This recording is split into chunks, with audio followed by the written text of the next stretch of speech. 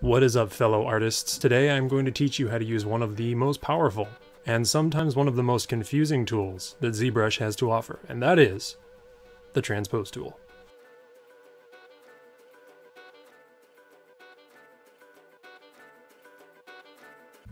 So for those of you that are familiar with 3D, you have your 3D Move tool. ZBrush and Blender pretty much call it the 3D Gizmo. In 3D, it's basically just a series of rings that control your rotation with arrows that you can pull and push your object in any direction on the X, Y, or Z axis. The Transpose tool is basically just a modified version of that. So when you open up ZBrush, for our purposes today, click on your light box and we're going to open up the demo soldier. Once you have your demo soldier open, if you click on subtool over here, you see that you have all these subtools lined up. If I use my transpose tool right now, it's gonna totally screw up my model. There's no way that I can use this. We're gonna combine everything and I'll show you what to do from there. Go over to subtool, click on that menu and bring it down.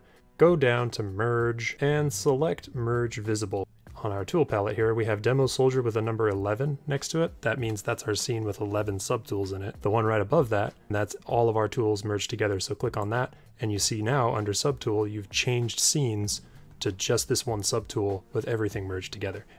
So to activate the Transpose tool, all you have to do is go into Move, Scale, or Rotate, and right next to Rotate is this Gizmo 3D button. So if you turn that off, it automatically turns on the Transpose tool. It's just your X, Y, and Z axes. If you click and drag anywhere on your model, it creates these three circles. There's one in the top, one in the middle, one on the bottom. Each circle has an outer circle and an inner circle. Each of these three rings controls an axis. The top one manipulates just the Y axis, the center one controls the X axis, and the bottom one just controls the Z axis.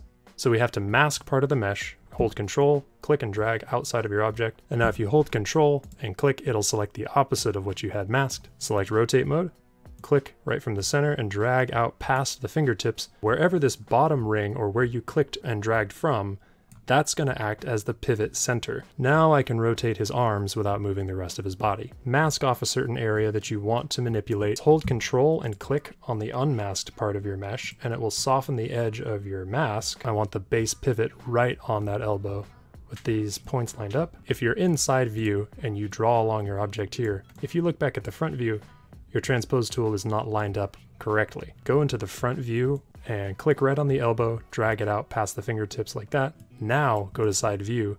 In rotate mode, you can click and drag and it creates a very smooth bend at the elbow there. You're gonna have to do a little bit of cleanup, of course. You can hit Q to go back into draw mode and kind of smooth some of this out, get it back to normal. Basically spot fix things all the time on the fly.